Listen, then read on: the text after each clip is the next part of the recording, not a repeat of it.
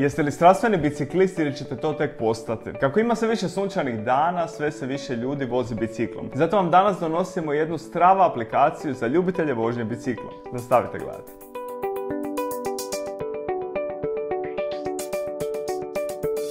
Strava ima aplikacije za vaše mobitele i pametne satove koje će vam pomoći da pratite apsolutno sve vezano uz vožnju biciklom. Iako možda na prvu mislite da ova riječ znači nešto drugo, ona na švedskom označava riječ težiti. Upravo u tome nam pomažu ovakve aplikacije. One nas tjeraju da težimo prema nečem boljem, prema nečem višem. Aplikacija će analizirati i prikazati vam apsolutno sve podatke koje vam mogu biti bitni vezano uz vožnju biciklom. Primjerice, možete vidjeti koju ste imali brzinu, koji ste put prošli, koja je bila vaša ruta, koji je bio vaš tempo, ali također što nije za zanemariti koliko ste kalorija potrošili. U aplikaciji možete postaviti ciljeve koje želite postići i tako pratiti svoj napredak. Iskustvo vožnje bicikla može biti puno zabavnije u društvu i u ovome vam pomaže mapiranje koje aplikacija radi. Na ovaj način možete prolaziti kroz rute koje je neko prošao ili neko drugi može rekreirati vaše rute. Osim toga, unutar aplikacije možete ostaviti fotografije i poruke podrške kako bi pomogli nekom drugom da postigne svoj cilj. Aplikacija ima i natjecateljski dio pa možete sudjelovati u raznim natječajima. A želite li saznati koja vam aplikacija može pomoći pri popravku pokvarenog bicikla?